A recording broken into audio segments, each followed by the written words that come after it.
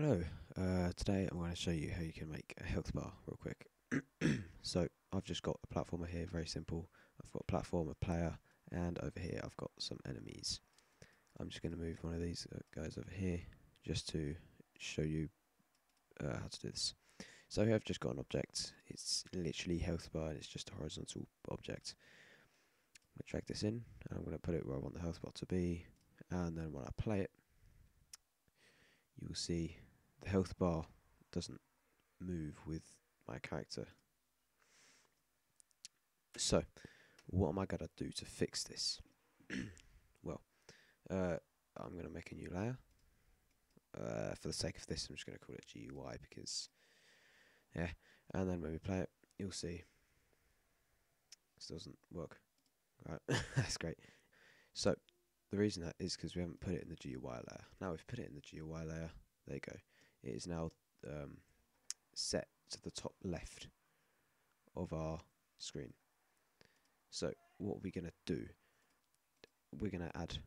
No, we're not going to do that. We're going to go to the object variables and we're going to make a variable for our player. This we'll just call health. And we're going to set it to 100, let's say. So, now we have that, I've already done a player is in collision with enemy.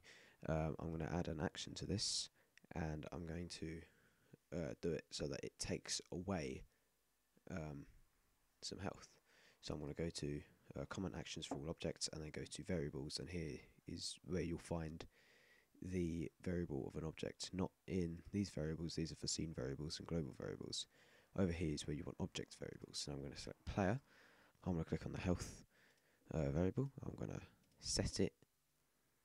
Now I'm not going to set it to, I'm going to subtract by, let's say 50. And so now whenever we hit an enemy, it will subtract 50 from that variable.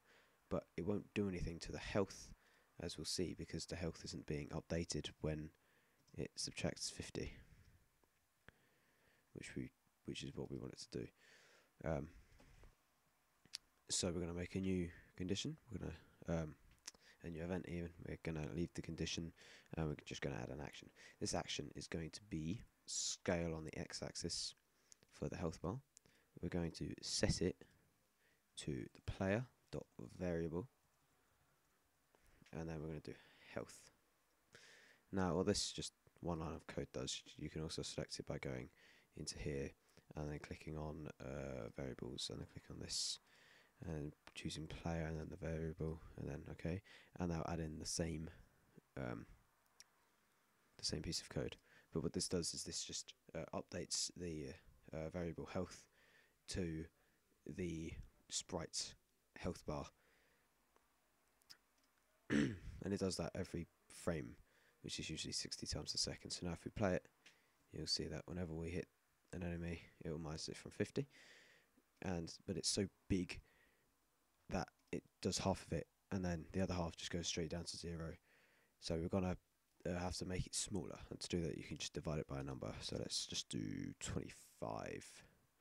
So divide it by 25, and that slash is a divide. So now you, you can see in the top left, it has gone smaller. So something we can use, and if I walk into the enemy, it will uh, subtract 50 each time I do it. And that's how make a simple health bar. You can then do this uh, for when you hit like a potion or you use a potion, you can then add 50. um, yeah. Yeah, so that is how you make a health bar. Hope this helps you all in your quests to make good games. Yeah, goodbye.